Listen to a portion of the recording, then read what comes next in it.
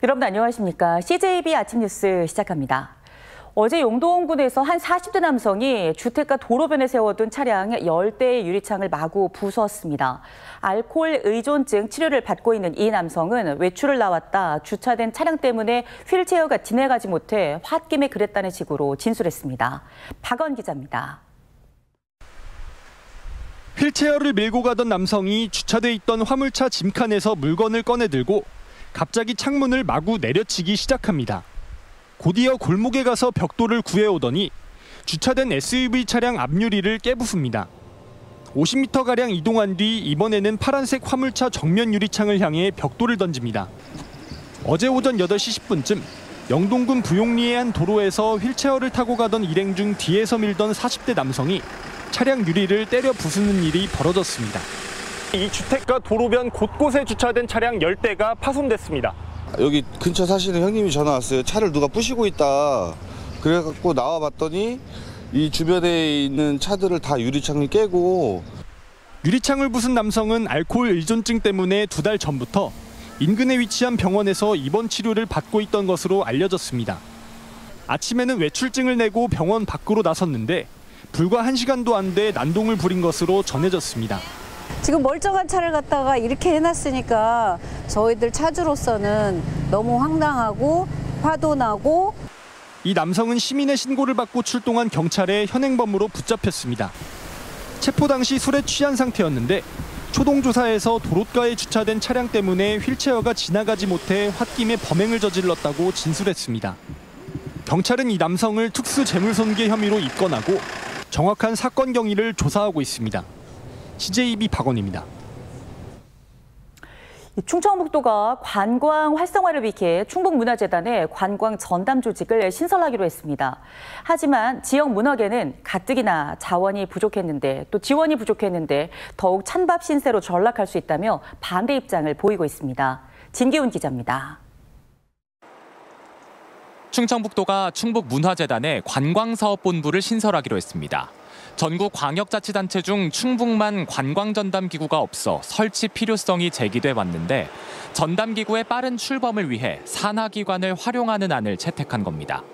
신설되는 관광사업본부는 본부장 1명에 실무를 담당할 3개 팀원 15명을 채용해 내년 1월 정식 개소를 목표로 하고 있습니다. 세종도 그랬고요. 충남도 그랬고요. 어, 이렇게 다들 문화 문화관광재단을 만든 게 트렌드라서 문화관광이 융복합하면서 상호 어, 시너지 효과를 내가지고 발전하는 방향이. 하지만 지역 예술계는 공론화 과정 없는 일방적인 추진이라며 반발하고 있습니다. 현재 충북문화재단의 인력과 예산은 전국 17개 광역문화재단 중 최하위 수준으로 지역 문화 지원이 열악한 상황인데 순수 기초예술에 대한 지원 확대 없이 도지사 역점 사업인 관광 조직이 문화재단에 신설되면 지역 문화계는 고사 위기로 내몰릴 수 있다는 겁니다. 충북의 문화예술은 관광산업에 종속될 것이다. 그 결과 지역의 예술가들은 무대와 전시장에서 관광지로 떠밀려 작품 창작보다 상품 제작을 강요받는 하청 사업자로 전락할 것이다. 도청과 각 시군청마다 관광부서가 있는 상태에서 별도의 기구를 또 만들어야 관광 활성화를 이룰 수 있느냐는 지적도 나옵니다. 관광 조직 신설에 대한 문화계 반발이 거센 가운데 관광 전담기구 설치에 대한 공감대 형성이 우선돼야 할 걸로 보입니다. CJB 진기훈입니다. 충북 지역 주유소 휘발유 값과 경유값이 8주 이상 상승세를 이어가고 있습니다. 한국석유공사 오피넷에 따르면 어제 충북의 휘발유 평균 가격은 리터당 1,744원으로 지난 7월 1일 이후 10% 올랐습니다. 충북 지역 경유 평균 가격은 리터당 1,627원으로 같은 기간 17%나 올랐습니다. 충북 교사노조는 서희초 교사 49제 날인 9월 4일을 교육 공동체 회복을 위한 성찰의 날로 삼아 정상 교육을 하겠다는 성명을 철회한다고 밝혔습니다. 유윤식 위원장은 교육부의 대량 징계 방침에 조합원들의 불필요한 희생을 막기 위해 집행부 단독으로 성명을 냈지만 조합원들이 이에 강력히 반발하고 있다며 성명을 철회하고 조합원들에게 혼란과 실망을 안겨드린 것에 사과했습니다. 9월 4일 운영 방안에 대해 유윤식 위원장은 재량 휴업일 지정을 요청하는 최초 입장만 남았다고 덧붙였습니다. 충청북도가 올해보다 5.6%가 증가한 8조 5,600억 원의 정부 예산을 확보했습니다. 정부의 긴축 재정 기조 속에 선방했다는 평가가 나오는데요. 도는 국회 심의 과정에서 최대 9조 원까지 증액하겠다는 계획을 밝혔습니다. 조용관 기자입니다. 충청북도가 8조 5,676억 원의 내년도 정부 예산을 확보했습니다. 도정 사상 처음 8조 원 시대를 연 올해보다 5.6% 늘었습니다. 세수 부족으로 인한 정부의 긴축 재정 기조 속에 나름 선방했다는 평가가 나옵니다. 예산 규모는 복지와 여성 분야가 30.6%로 가장 많고 산업과 경제, SOC, 농업 산림, 소방안전, 문화 관광 등의 순입니다. 사업별로는 충청 내륙 고속화도로 1,400억 원과 충북선 철도 고속화 사업비 397억 원, 천안 청주공항 복선 전철 사업비 468억 원, 방사강 가속기 구축 관련 420억 원 등입니다. 충북의 전략 산업인 반도체와 2차 전지, 바이오와 관련해서는 지능형 반도체 IT 소부장 지원센터 구축비 75억 원과 2차 전지 재사용을 위한 중부권 기술지원센터 구축비 15억 원, 바이오 소부장 특화단지 관련 50억 원이 포함됐습니다. 김영한 씨의 핵심 공약인 레이크파크 르네상스와 관련해서는 21개 사업 205억 원이 반영됐습니다. 건전 재정 기조로 정부의 예산 증가율이 2%대로 큰 폭 감소한 상황에서 거둔 성과로 그 의미는 더욱 크다고 하겠습니다. 도는 최대 4천억 원의 국회 증액을 통해 최종 정부 예산을 9조 원까지 끌어올려 보겠다고 밝혔습니다. 2025년 말 정상 개원을 위한 국립소방병원 건립 예산과 청주공항 국제 여객터미널 신설비, AI 바이오 영재고 관련 예산 확보에 도전합니다.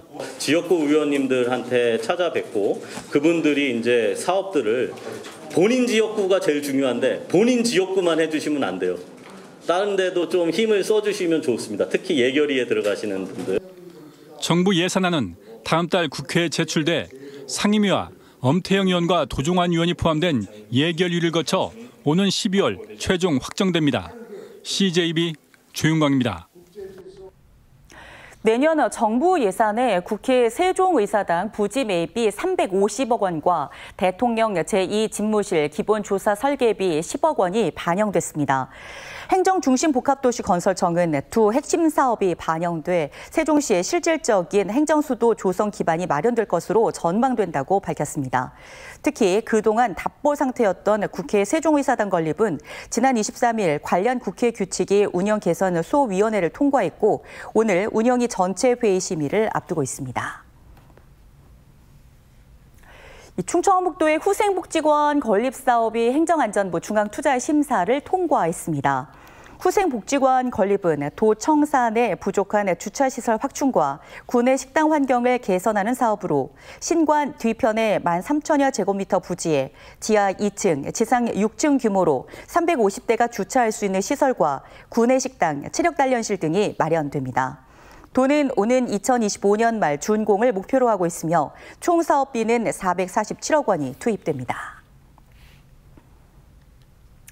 최근 청주시의 브레인 역할을 맡게 될 시정연구원의 초대 원장으로 원광희 충북연구원의 지역발전연구센터장이 선임되면서 설립 절차에 속도가 붙고 있습니다. 시정연구원의 사옥으로 쓰게 될 옛 도민 안전체험관에 대한 리모델링 공사도 본격화하고 있습니다. 홍우표 기자입니다. 청주시정연구원의 초대 사령탑을 맡은 원광희 박사는 중북연구원에서 30여 년간 일해온 지역 전문가입니다. 특히 중북연구원이 수행한 융역 가운데 상당수가 청주시의 현황과 직간접적으로 결부돼 있는 만큼 청주시의 사정을 누구보다 훤하게 알고 있습니다. 지난해 청주시장직 인수위원회에서는 부위원장을 맡기도 했습니다. 원강희 청주시정연구원 초대 원장은 소수정예의 연구 인력으로 출발하지만 멀티플레이어의 조직을 만들겠다는 포부를 밝혔습니다. 경험도 많고 또 그 지역을 누구보다도 좀 잘 아는 또 이론에 치우치는 것이 아니라 실제 실행할 수 있는 방법까지도 대안을 제시할 수 있는 그런 유능한 또 연구원들이 많이 또 채용돼야 된다. 시정연구원 4억으로 쓸 예정인 옛 도민안전 재원관도 20억 원을 들여 리모델링이 한창입니다. 리모델링 공사 기간은 약간 유동적인데 이르면 내년 1월, 늦어도 내년 3월까지는 시정연구원이 출범할 것으로 보입니다. 연구원 6명과 소수의 사무 인력으로 출발하지만 내년 하반기 연구 인력 추가 채용 등 점차 조직은 확대될 전망입니다. 청주시의 중장기 발전 계획을 수립을 한다든가 뭐 정부 정책 대응에 대해서 신속하게 대응을 할 수 있고 각종 연구 용역에 대해서 우리 이제 연구원에서 수행을 할 수 있는 역할을 하게 됩니다. 청주시 발전에 큰 그림을 그리는 역할을 맡게 되는 시정연구원. 다만 지역의 현안과 문제 등을 정확히 파악하고 올바른 방향을 제시할 수 있는 본궤도에 오르기까지는 다소 시일이 걸릴 전망입니다. CJB 홍우표입니다. 단양군이 수상 스포츠의 메카로 떠오르고 있습니다. 수려한 자연 경관과 우수한 수상 스포츠 인프라를 기반으로 수상 페스티벌과 각종 국제 대회를 유치하며 내륙 수상 스포츠의 중심지로 만들겠다는 계획입니다. 이훈영 기자가 보도합니다. 힘찬 물줄기를 내뿜으며 flyboard가 하늘을 날아다닙니다. 현란한 묘기를 선보이며 관광객들의 시선을 사로잡습니다. 한여름 더위를 날려버리는 motor surf, 제트보트의 신나고 화려한 질주에 저 앞에 탔더니 바람이 막 뒤로 가고 저쪽으로 기울어서 물속에 빠질 것 같은데 그래도 우리가 아 해서 안 떨어졌어요. 수상 자전거와 카약, paddleboard 등 각종 수상 레포츠를 마음껏 즐긴 관광객들은 신이 절로 납니다.